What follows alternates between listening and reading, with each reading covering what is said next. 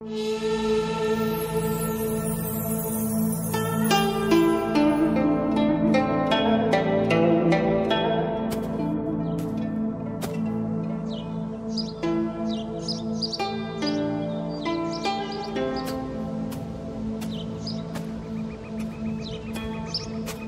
哥，篮子里的是什么呀？萝卜。给我吃的吗？嗯。喜欢吃萝卜吗？嗯，不喜欢。我喜欢吃土豆。不可挑食。哼。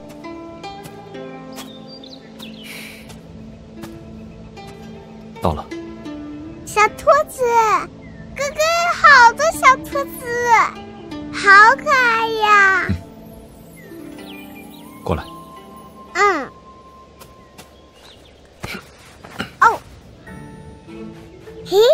小兔子。喏，拿着。萝卜，小兔子吃萝卜。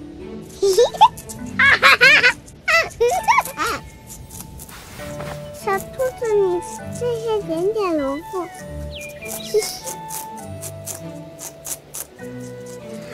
哎，累了。哥哥，你头上戴的是什么呀？这个，抹额。抹额，好好看，我也想戴。不可。嗯。抹额，意欲归属自我，不可触碰。除非日后遇到命定之人、倾心之人，方可不必受此约束。命定之人？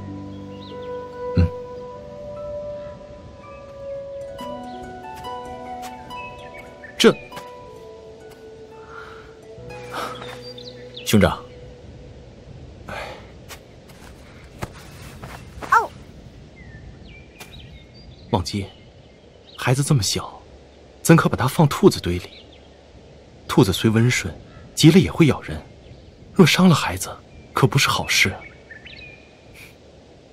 多谢兄长教诲。唉，我听叔父说，你打算让这孩子取兰姓，入我们姑苏兰氏。嗯，叔父很生气。至此无辜。嗯。罢了，你既然说服了叔父，我自然也不会有意见。小兔子，我好喜欢你呀，你喜欢我吗？喜欢。你确定他不记得从前了？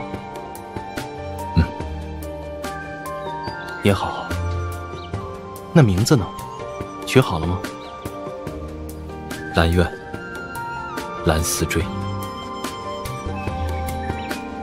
思追 是个好名字。